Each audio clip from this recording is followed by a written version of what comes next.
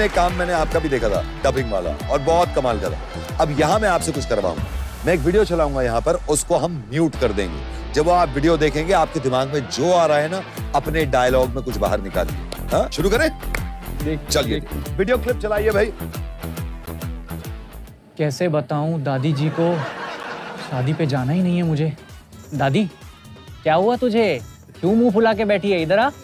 दादी जी मैंने डीओ नहीं लगाया है। कोई बात नहीं बेटा, हम भी नहीं लगाते थे। पर दादी, कुछ तो लगाना पड़ेगा ना। सब लोग लगा के आएँगे डीओ क्यों?